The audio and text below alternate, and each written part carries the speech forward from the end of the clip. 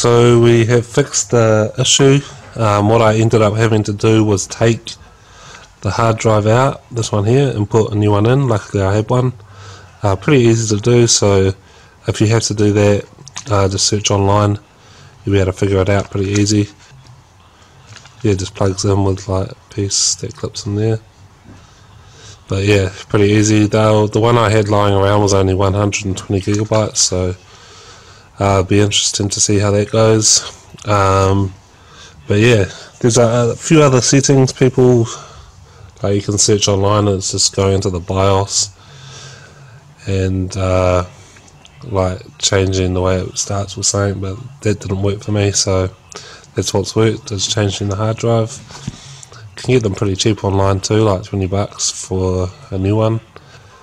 The other problem I had was with the Wi-Fi when I changed when I installed the new Windows 10 on this laptop.